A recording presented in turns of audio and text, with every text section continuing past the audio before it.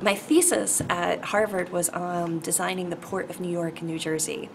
And I found as an architect very quickly when you change such massive scales, when you're no longer just thinking about the envelope of the building, but when you're looking at a vast territory, especially of flows, coordinations, overlaps of commodities coming in and out of the port, um, a different set of graphic conventions needed to be found. So the architectural plan didn't work as well any longer, but the more um, graphic diagrams started to coordinate information in a better way. So that's how I kind of found myself between this world of architecture and graphic design. Graphic design really is a new type of representation for architecture.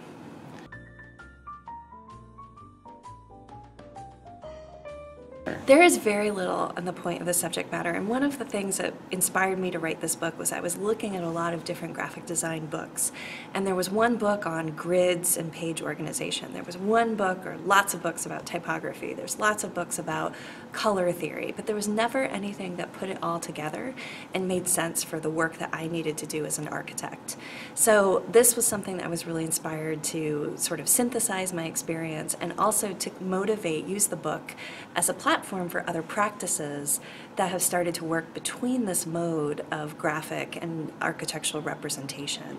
So the book not only is filled with diagrams and explanations and a lot of different ways of, of thinking about how architects and graphic design fit together, but it also has a series of interviews between each chapter where I've highlighted uh, different firms or different artists who are working at these intersections, asked them about their work and included that in the manual as well. Well,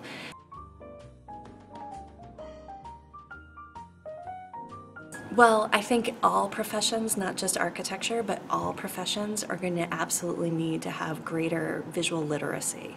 So how information is represented, how to read a map, how to make an effective pie chart, that's not just something for graphic designers, and it's certainly not just something for architects, but all professions are going to need to have better skills.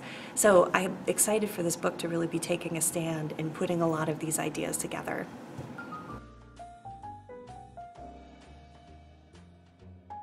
Really this hope for my the book is that it not only will open up possibilities for architects to think about enriching their uh, collaborations with other disciplines. I mean, certainly architects have had a great moment collaborating with structural engineers. We've had great moments collaborating with artists.